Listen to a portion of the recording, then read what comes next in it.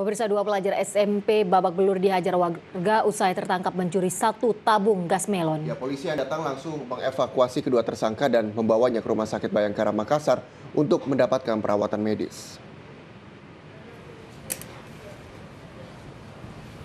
Dua remaja babak belur dihajar warga lantaran kedapatan mencuri tabung gas LPG 3 kg milik warga di Jalan Pelita Raya, Rapocini, Makassar, Sulawesi Selatan.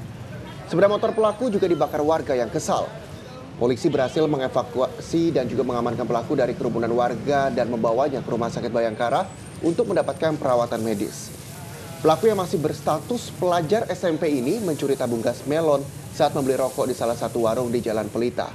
Pemilik warung yang melihat kejadian itu langsung meneriaki kedua pelaku. Saat diinterogasi, salah satu pelaku mengaku tidak mengetahui jika temannya mengambil tabung gas tersebut.